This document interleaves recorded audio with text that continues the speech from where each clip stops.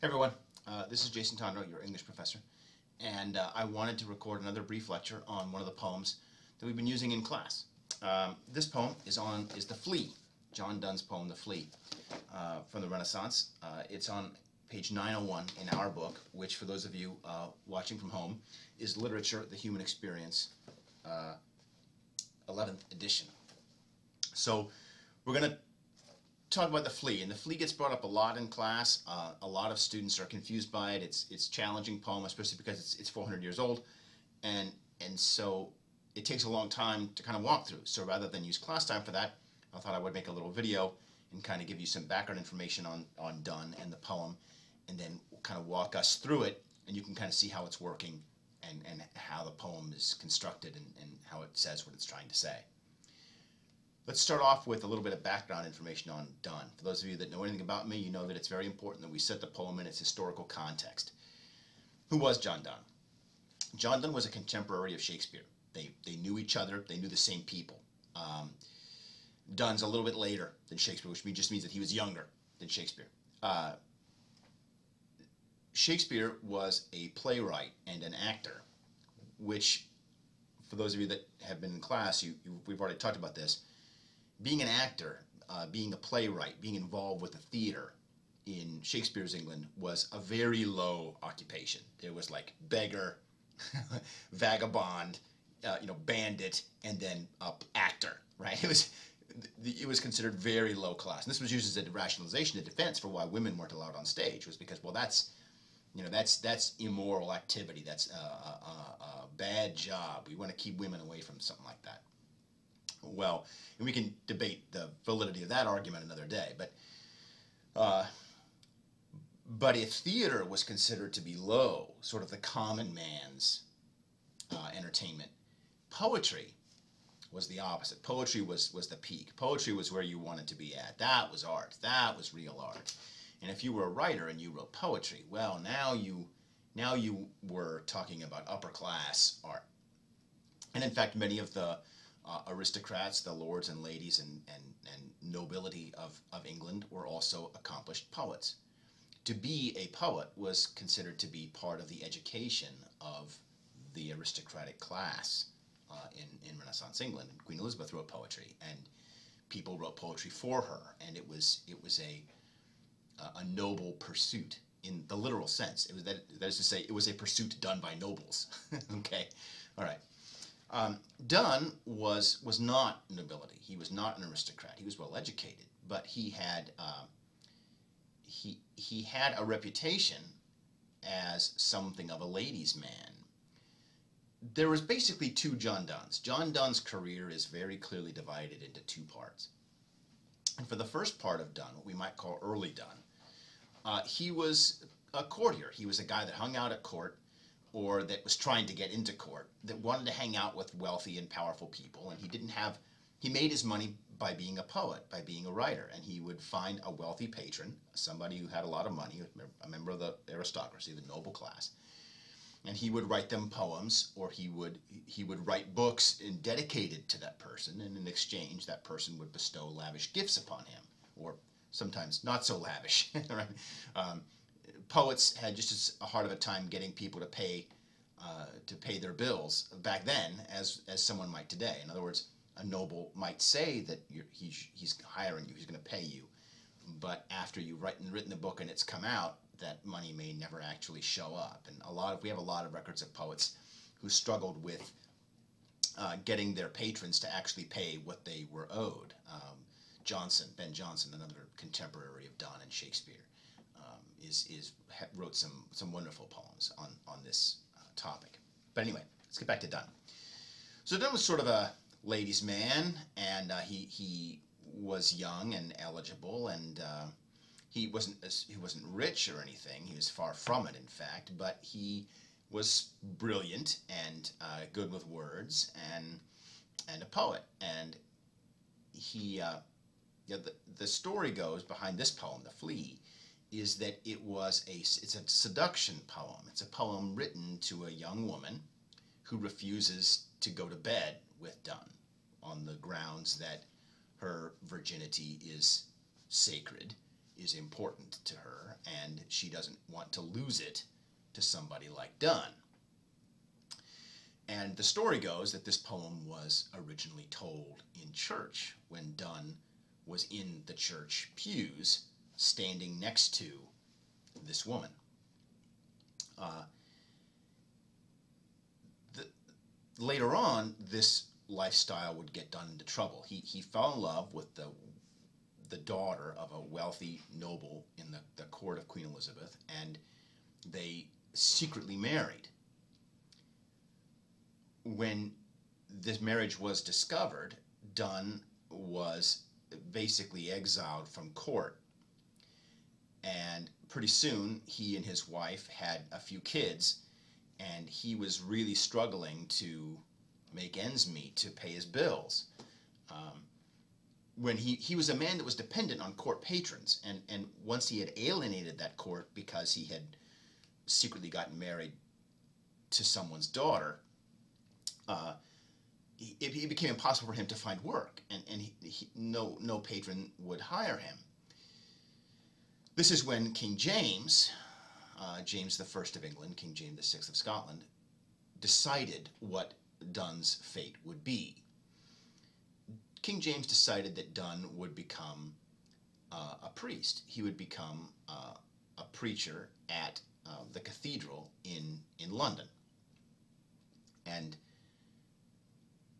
uh, St. Paul's Cathedral in London. And, and he informed Donne of this choice. Like, well, here's the deal. You, I'll give you a job, and your job is, is to be a you're going to become a priest. Well, this required Donne to change his complete lifestyle, and and he initially refused. But as I say, he had a few kids, and the bills kept mounting, and and he eventually agreed, and he became a a preacher in in the church. And now think for a minute.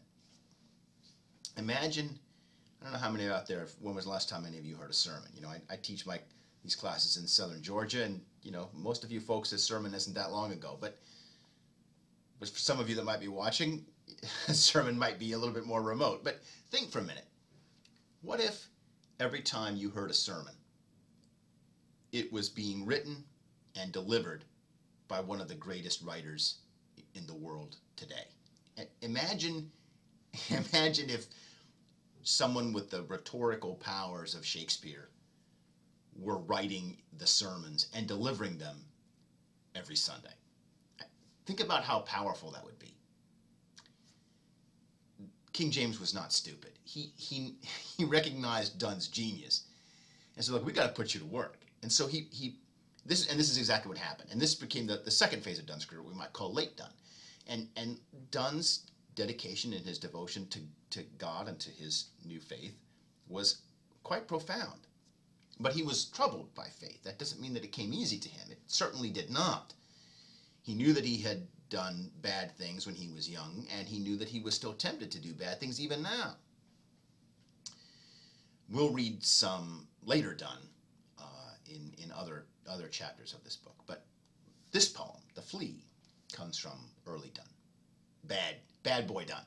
okay? Donne, Donne the player. All right? Okay. So it's a seduction poem. Let's take a look at it. Let's just read through it, and, uh, and then we'll go back. Mark but this flea, and mark in this how little that which thou deniest me is. It sucked me first, and now sucks thee, and in this flea our two bloods mingled be. Thou knowest that this cannot be said a sin, nor shame, nor loss of maidenhead Yet this enjoys before it woo, and pampered swells with one blood made of two. And this, alas, is more than we would do. Oh, stay, three lives in one flea spare, where we almost, yea, more than married are. This flea is you and I, and this our marriage bed and marriage temple is. Though parents grudge, and you, we are met and cloistered in these living walls of jet. Though use make you apt to kill me, let not to that self-murder added be, and sacrilege, three sins in killing three. cruel and sudden? Hast thou since purpled thy nail in blood of innocence? Wherein could this flea guilty be, except in that drop which it sucked from thee? Yet thou triumphst, and sayest that thou find'st not thyself nor me the weaker now. 'Tis true. Then learn how false fears be. Just so much honor, when thou yieldst to me, will waste, as this flea's death took life from thee. All right, now, what was that all about? Well, you you could tell that there's a flea. Okay, now look at the poem for a minute.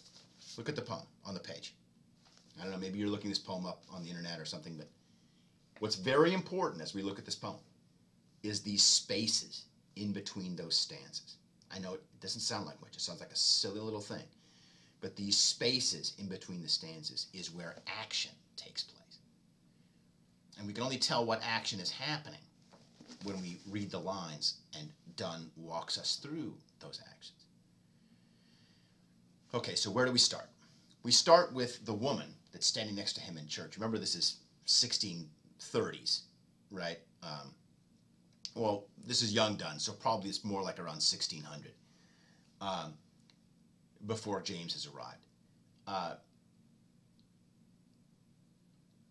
and and you know it's 400 years ago, and this is going to sound really gross, and you're all going to get grossed out by this, but the fact that people might have fleas was a little bit more common then than it is now, right? Uh, we we uh, uh, our our standards of personal hygiene are a great level higher because we can make them higher. It was hard to not have fleas uh, in in 1600, but in any case, so she finds a flea on her arm and or her shoulder or something, and she she takes the flea. And and Donne is talking about this flea that she has captured, or that he has captured. But it seems to be her, because talks about he says about how it bit him first and now it's bitten her. Mark but this flea. Okay, pay attention. That's all that mark means. Pay attention. Pay attention to this flea. And pay attention how little that which thou deniest me is. He's talking about her virginity. This is a poem about, about your virginity. And it plays in that metaphor of blood a lot through the whole poem. It, the flea, sucked me first, so now my blood's in it. My blood is in the flea. And now sucks thee, and now your blood is in the flea. And in this flea are two bloods mingled be, and this becomes a metaphor for marriage, right? Or for uh, uh, uh, pregnancy. Thou knowest that this cannot be said a sin. It's not a sin that the flea bit me and bit you, that it has made one being out of two. That our bodies are mingled in the body of this flea. That's not a sin. It's not a shame, and you haven't lost your virginity. You have lost blood to this flea. But that's not a sin. Right? Okay. Yet this, the flea, enjoys before it woo. The flea didn't have to court you. He didn't have to get permission from your father to marry you. He didn't have to buy you chocolate or flowers. He didn't have to do any of that stuff. He had the flea is the ultimate premarital sex, right? He he wanted you and he sucked from you. And pampered swells with one blood made of two. This is that pregnancy metaphor. The flea has grown fat with one blood a child made of two. Now, the flea's not literally pregnant. We're using it as a metaphor, just like in Hills Like White Elephants, where, you know, when the woman looks and sees she's the, the hill, and she says, you know, it looks like a white elephant. It looks like an elephant from here. And this is a metaphor for the fact that she's pregnant, right? Whenever you, or you see it again in um, Because I Could Not Stop for Death, this idea of the hill, the swollen hill, as a metaphor for a woman's, a pregnant woman's belly. This is an old metaphor, very, very old. All right, and this, alas, the fact that it's that the flea has enjoyed her blood, her sex, is more than we would do. It's it's had more fun than we. This flea is on top of the world. okay, all right. Now, now we have the first of those spaces. The stanza is over. Have that space in between lines. Look at the beginning of the next line. Oh, stay. Three lives and one flea spare. She's getting ready to kill it. She's going to crush the flea. She's going to kill the flea. And he's saying, that's all I mean by stay. He means, don't do it. Stop. Hold on. Hold on a minute. Let the flea live. Three lives in one flea spare. Whose lives are we talking about? We're talking about his, hers, and the fleas, or the the mingled one life that it's created inside of it, out of there too. Where we almost yea more than married are. Is he's comparing, and this whole stanza is about comparing the flea to a kind of wedding structure. Like inside the flea, our blood has been mingled. We use this metaphor for marriage even to this day. The, the idea that we become one flesh, right? Or we use it when we talk about sex. when We talk about how you know you really love somebody and you feel like like you know you're one person, like you're you know you're like you're united with that person in love, like you're you're one you're one being. This flea is you and I, and this, the flea itself, our marriage bed and marriage temple is. When he talks about um, these living walls of jet, jet is just the color, jet black, right? Black. And of course, what's black is the flea. So the flea is like a church. I know this sounds like it's a you know, exaggeration, but but Donne's a master of this kind of poetry, and he's all about taking a metaphor and just making it work so hard and, and impressing somebody with his dazzling command of, of poetic language and metaphor. So now the flea is like is like a church. And inside that church, our two selves have become mingled into one. It's like we're married already, inside inside the flea. right? Though parents grudge, our parents, your parents, don't want you to sleep with me. And you, he notes. And you don't want to sleep with me either. right?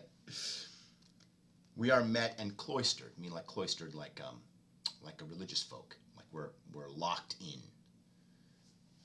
to these living walls of jet, these black living walls of the flea's body. Though use, that's um, just custom, uh, like habit. Uh, the, the normal way of doing things means that when you find a flea, you should kill it. That's what you do with fleas, you kill them. Though use makes you apt to kill me, let not to that self-murder added be. Because, of course, he, his, his metaphor is, is that his life, his blood, is inside the flea. So when you kill the flea, you'll be killing him. But you'll also be killing you. Don't kill yourself. That's a sin. And you're also killing whatever you're also and sacrilege because we're also deciding that the flea is like a church. So when you destroy the flea, it's like you're burning down a church. That's what he means by sacrilege, right? Don't burn down the church. okay. All right. The second of those big spaces in between line, uh, paragraphs two and three, stanzas two and three. Cruel and sudden, hast thou since purpled thy nail in blood of innocence. What just happened? She has purpled her nail. We often refer to blood as purple, uh, even though it's not purple, it's just red. But what he's asking here is, you've got blood on your fingernail now because you crushed the flea. She's killed it. She's crushed it in between stanzas two and three. Notice he refers to the flea as the blood of innocence because the, the flea didn't do anything wrong. The flea was just being a flea. He's just doing what fleas do. Wherein could this flea guilty be? If the flea did anything wrong, if it was bad, if it was a bad flea, what did it, where could it have gotten this sin from? This is sort of playing off the idea of original sin, right? Uh, the idea that you know, sins are inherited, what, what did it do? What, where, wherein could this flea guilty be, except in that drop which it sucked from thee? It must have, it must have gotten its sin from you. Yet thou triumphst, you've crushed it, as if it was a battle, right? You triumph as, a, as if it was a big fight, instead of just crushing a little insect. And sayest that thou findest not thyself, nor me the weaker now. This is note. What he's saying is, is that he's telling us in, in the poem that the woman that he's talking to has said, Well, look, I've crushed the flea, and you kept telling me not to crush the flea because it would be like killing you and killing me and doing all these terrible things. And now I've crushed the flea, and guess what? I'm fine. I'm fine. I'm not hurt. And neither are you. I killed the flea, and it didn't do anything, it, it wasn't even painful. Tis true. You're right. It wasn't. Then learn how false fears be. You're right. You were so afraid that killing the flea would be painful, and now you killed the flea, and it turns out that you didn't even notice. Just so much honor. It's going to be just as painful, just as terribly lethal. When you yield to me as this flea's death took life from thee. In other words, he's been building up this whole poem talking about how terrible it is to hurt the flea. And then she does it and she says, Look, and it doesn't even hurt. And he says, Yeah, exactly. It didn't even hurt. And it's not going to hurt, and you're not even going to notice when you lose your virginity. right?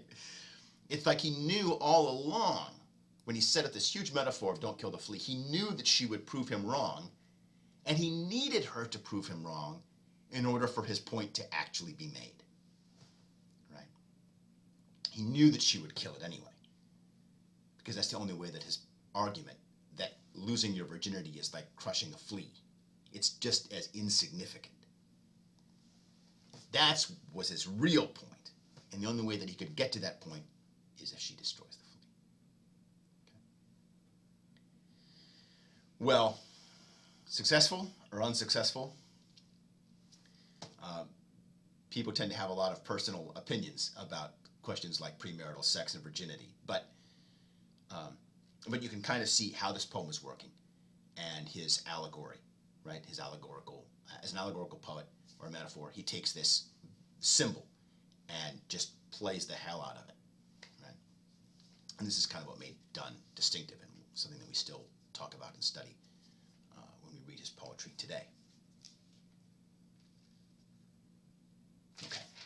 All right, well, that's the fleet, all right? Thanks.